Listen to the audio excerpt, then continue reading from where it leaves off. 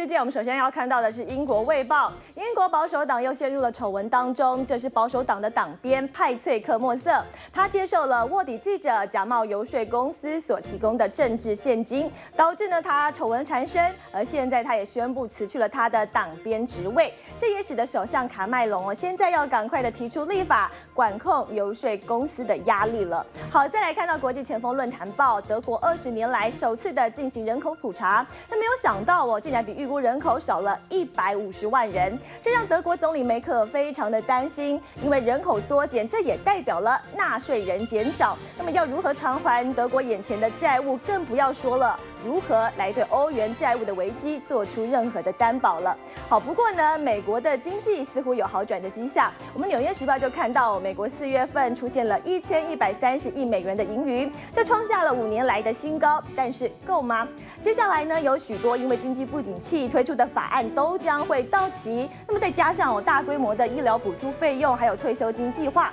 专家就认为啊，这对美国长期的经济前景，其实现在啊，恐怕还是没有办法那么。的乐观。好，另外在美国呢，最近登上媒体版面，除了查党二十五个团体要联合来告国税局刁难，现在又爆出国税局在二零零七年针对支持小布希出兵伊拉克的组织捐款的人来征收赠与税，这恐怕呢又会再惹争议了。好，我们继续要看到的是《华盛顿邮报》哦，这半夜惊魂记就发生在维吉尼亚州，由于架呢小型的飞机因为燃料耗尽坠毁，那么直接的撞进了一间民宅，发出呢像是爆炸。的巨响吓坏了所有人，包括驾驶还有屋主，总共三个人受伤。还好呢，这个送医之后啊都没有大碍。这是今天的《读头条看世界》。